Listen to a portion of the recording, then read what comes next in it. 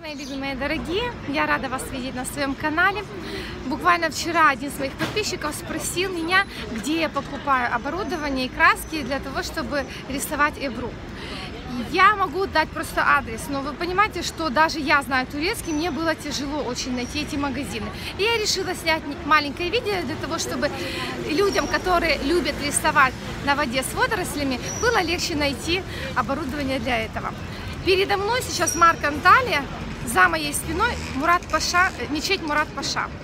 Мы проходим ее и выходим на параллельную улицу Капалы Это всем известная Капалы Йол. Она нам сейчас не нужна. Мы сворачиваем направо и идем вот там, где синенький Турксат написано. Турксат. И вот эта улочка. Идем вниз по ней. С левой стороны у вас остается красивый фонтанчик и бурса Уджус Кумаш. И вы идете прямо, да, буквально 3 минуты по прямой. На противоположной стороне вы увидите вывеску Улусой. И вот туда, если Улусой находится фабрика Сыл. И вот вам вот этот проходик, видите? На проходе вы и найдете Палет Санат Сал, магазин, где находится все-все для художника. Можно купить материал для ЭБУ, но и все остальные художники могут найти краски, которые им подойдут. Также маленькие такие деревья, кустики. Я видела такие картины, делают тоже в Осмеке с этих материалов. Это такие новые рамочки для картин круглые. Я спросила, он говорит, картины такие. Интересно. Ну, я же, знаете, не профессионал в этом. Я только эбру умею рисовать, а обычные я точно вот вообще не умею рисовать. Честно вам признаюсь. Краски фирмы ПП, которыми я рисовала, сейчас стоят 19 лет. А вот эти стоят 9,50. Но я бы вам не рекомендовала их. Девочкам не понравилось совсем. То есть очень большое отличие от ПП фирмы. А вот натуральные краски, это старая цена, да, то есть еще пока, если кто-то хочет, может взять, потому что новый завоз будет уже совсем другая, 17, 18, 19. До первого магазина мы дошли вниз до проезжей улицы и вот завернули налево. Чуть идем еще немножко вперед. Прямо напротив Анталия Кулумджулак шоссе мы заходим в такой маленький проходик. Не маленький, нормальная красота. Здесь продается свадебные платья и вечерние. В магазине есть вот таких нарядов. Для тех, кто не знает, это одевают мальчики, когда у них проходит обрезание. Это очень большой праздник в Турции считается. Вот. Еще людей собирается, может, больше, чем на свадьбу даже. Мы дошли до конца прохода и заворачиваем налево. И сразу же буквально вы увидите здесь картины. Это второй магазин, где вы можете купить краски для Эбру и оборудование. В этом магазине краски уже 20 лет, не 19, ну, в принципе, одна лира разницы не играет, если вы там одну берете, но если много, тогда да. Здесь тоже можно полностью взять все оборудование. И также для всех художников магазин вроде поменьше, но иногда я покупала здесь тоже, потому что не всегда краски были в палет Санацал. Если вы будете идти от музыкальных фонтанов, то поднимайтесь просто вверх.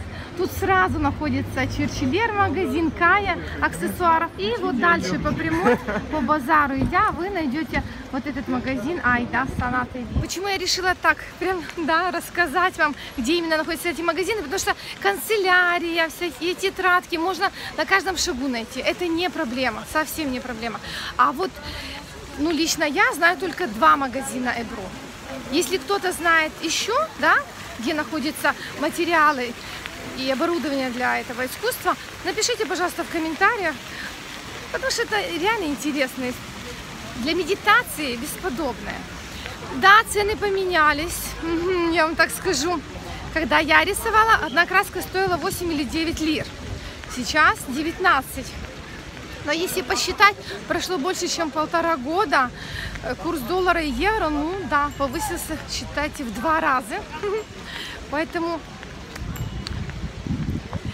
ну, это прелесть, честно. Если у кого-то есть желание и возможность, рисуйте, вам, вам понравится.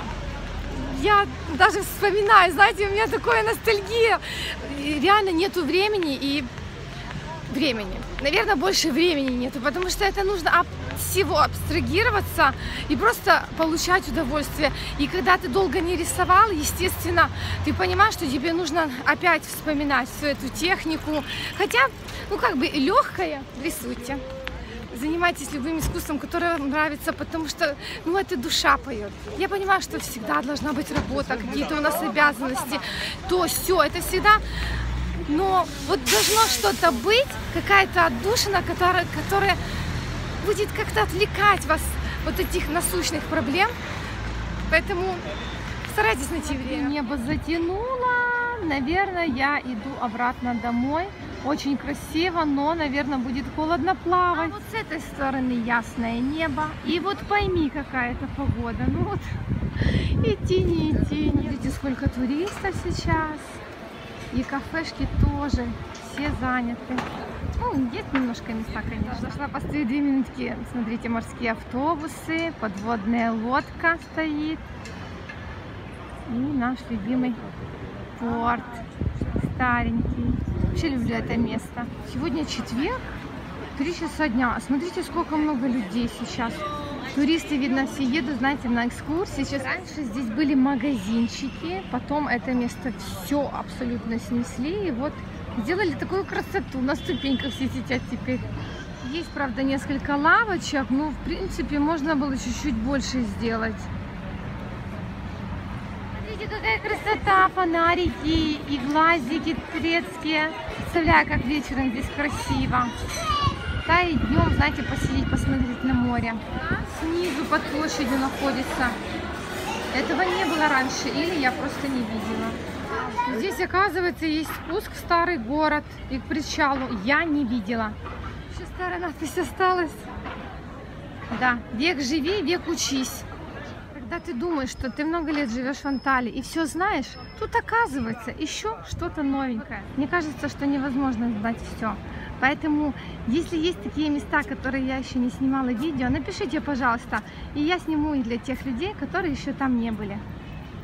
Ну, даже Тёма мне сейчас позвонил, сказал, мама, не приходи, потому что уже я только скупнулся в море, но уже прохладно. То есть я понимаю, пока я дойду, уже зима там начнется. Ну, зима нет, но дождик может начаться. Так что я бегу домой, потому что я сегодня постирала две стирочки. И если они все намокнут, будет очень-очень обидно. Такие молодцы, сделали домики для кошечек. Кормят. Ой, будет, смотрите, какой. Смотрите, какой пупсик. Ой. Красота какая. Ой, один. И, и еще второй. Ой, какая красота. А этот, смотрите, улегся. Он решил, что он продается. Красотули маленькие. Вы знаете, как в Турции зовут кошечек? Не кыс-кыс-кыс, а пс-пс-пс. Да, вот так. Так что не удивляйтесь, услышите. Ребенок не может оторваться от котика. Возле часами сейчас стоит 15 минут 50 лир, а 30 минут 100 лир. Зрелище всегда, когда вот приезжает трамвай, да, и все лошадки переходят на другую сторону, чтобы проехал сначала тот трамвай, этот стоит, ждет здесь, тогда они меняются.